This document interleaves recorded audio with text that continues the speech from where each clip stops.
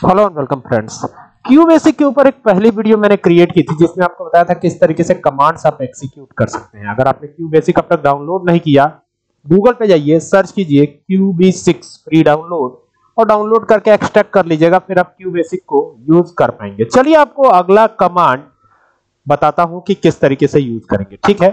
तो चलिए स्टार्ट करते हैं। दो कमांड्स का कॉम्बिनेशन हम यूज़ करेंगे। सीएलएस यानी कि पुराना आउटपुट क्लियर करने के लिए सीएलएस कमांड यूज़ करते हैं।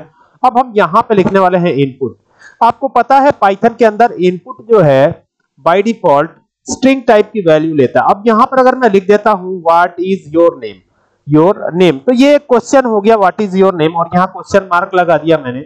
और क्वेश्चन मार्क लगा करके क्या करूँगा? डबल कोट्स को क्लोज कर दूँगा, ठीक है? के डबल कॉमा दे दिया और यहाँ पे सेमी कॉलन दे दिया। तो सेमी कॉलन ही आपको देना है, ये भी आपको ध्यान रखना है, ठीक है ना? यहाँ पे लिख दिया नेम और फिर नेम लिखने के बाद यहाँ पे डॉलर साइन लगा देते हैं एंटर करके नीचे आते हैं, ठीक है ना? अब देखिए, अब ये बिल्कुल सही है। अब यहाँ पे इनपुट यूज़ किया और फिर यहाँ लिखेंगे what is your age what is your age ठीक है ना? तो ये इस तरीके से कर देंगे। यहाँ पे क्वेश्चन मार्क लगा देते हैं और यहाँ डबल कॉमा क्लोज करके यहाँ लगा देते हैं सेमीकोलन सेमीकोलन लगा दिया और यहाँ लिख देंगे एज ठीक है? और एज लिखने के बाद यहाँ लगा देंगे, इस तरीके से कर देंगे। चलिए आगे बढ़ते हैं आप। ठीक है? अब यहाँ पे क्या लिखता हूँ? यहाँ पे लिख देता हूँ लाइक चलिए मान लीजिए दो ही चीज़ हमको लिखना हो, तब क्या करेंगे? तो ये दो चीज़ तो हमने लिख दिया। अब यहाँ प्रिंट जो कमांड आता है, उसको लिखेंगे। प्रिंट लिखा हमने, और यहाँ पे प्रिंट करवा देंगे, ठीक है ना? तो यहाँ लिखेंगे योर नेम इस तरीके से लिख दीजिएगा। और योर नेम लिखने के बाद डबल कॉमा जो ओपन हुआ था, उसको क्लोज करके यहाँ पे टर्मिनेशन दे करके क्योंकि हमने वहाँ पे दिया था नेम तो यहाँ पे लिख देंगे नेम ध्यान दीजिएगा, यहाँ पे नेम ही लिखना है आपको एज तो ये भी डबल टेट कॉमा में लिख करके योर एज कर देंगे। योर एज कर दिया। अब ये जो डबल टेट कॉमा उसको क्लोज करके यहाँ लगा देंगे सेमीकोलन और यहाँ पर एज दे देंगे एज एजीई एज दे दिया, ठीक है ना? वहाँ पे नेम दे दिया था। यहाँ एज दे दिया, ठीक है? तो लगा देंगे डॉलर इस तरीके से डॉलर लगा दिया है, आप देख सकते हैं, ठीक है? अब क्या करना है? अब हमें एंटर करना है। एंटर कर दिया। हमारा ये हो चुका है अब यहाँ से रन करवाने की बारी है तो इसको रन करवा लेते हैं ना। तो इसको ये फाइव करके आप रन करवा सकते हैं, ठीक है? यहाँ से ओके करेंगे, ये रन हो जाएगा। और रन होते ही, देखिए, ये किस तरीके से प्रिंट होकर आएगा। इसमें थोड़ा टाइम लगता है और फिर ये रन हो जाता है, ठीक है? तो आपको थोड़ा सा वेट कर लेना होगा और वेट करने के बाद ये देखेंगे तो ये रन भी हो जाएगा। क्लियर तो देखिए, ये रन हो रहा है और जैसे ही रन होता है तो आपको दिखाई पड़ेगा क्या क्या चीज़ें यहाँ पे प्रिंट होंगी।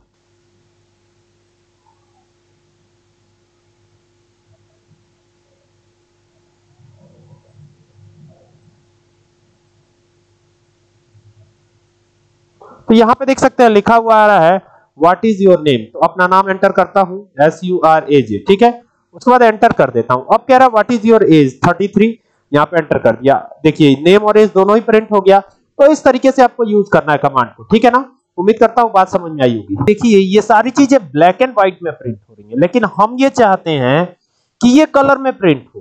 तो कलर में प्रिंट करने के लिए हम क्या कर सकते हैं? तो कलर में अगर आपको ये प्रिंट करना है तो बहुत आसान है। ठीक है? मैं बताता हूँ कैसे ये कलर में प्रिंट होकर आएगा, ठीक है? तो कलर में प्रिंट करने के लिए यहाँ पर आपको थोड़ा सा कमांड हटके चलाना होगा। क्या चलाना होगा दिखाता हूँ। यहाँ पे लिखिएगा स्क्रीन ठीक है? और स्क्रीन में यहाँ पे मैंने दे दिया 12 12 ठीक है? यहाँ पे दे दिया 12 और यहाँ पे कलर दे देता हूँ। तो ये कलर दे दिया 4 अब ये कोड है, ठीक है ना? और यहाँ पे प्रिंट करवाएँगे तो प्रिंट क्या करवाएँगे? तो प्रिंट करवाता हूँ मैं। क्या प्रिंट करवाना? आपको जो हमने पहली बार प्रिंट कराया था, वही चीज़ हमें प्रिंट करानी है, ठीक है ना? इसके पहले मैंने जो अभी प्रिंट कराया व्हाट इज़ योर एज और नेम जो प्रिंट कराया था, बिल्कुल वही चीज़ आपको प्रिंट करवानी है। नेम लिखने बाद डबल डॉट कोट्स को क्लोज करके यहाँ पर टर्मिनेशन दे करके दे देता हूँ नेम और नेम लिखने के बाद यहाँ लगा देता हूँ डॉलर तो ये हो गया एक काम, ठीक है ना? और ये करने के बाद यहाँ से फिर टर्मिनेट कर देंगे। फिर दूसरा हमारा एज था तो यहाँ लिखूँगा योर एज और योर एज जो है, ये हम लिखेंगे डबल कॉमा में। तो ये ध्यान देना है आपको डबल डॉट कॉमा ज़रूर लगाना है। तो ये डबल कॉमा में लिख दिया योर एज और योर एज लिखने के बाद, यहाँ पर क्या करता हूँ मैं?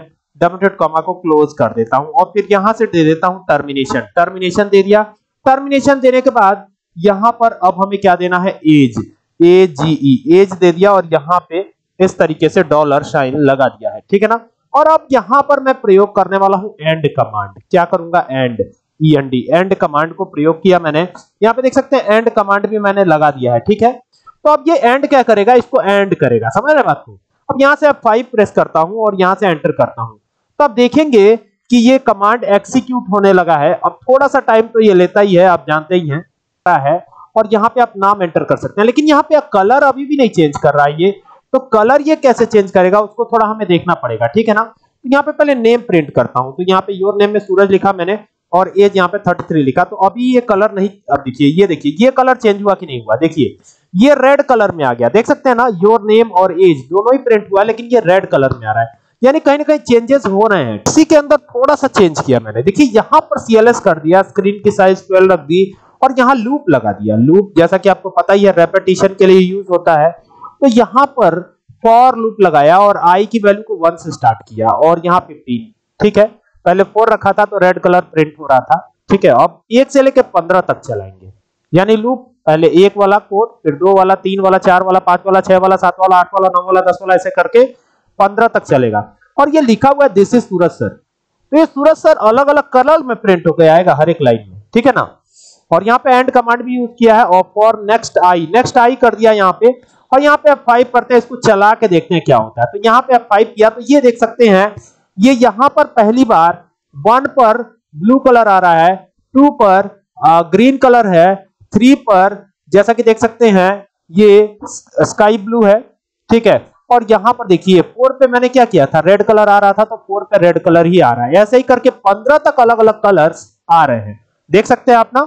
तो उम्मीद करता हूँ ये कमांड्स आपको समझ में आए होंगे, ठीक है?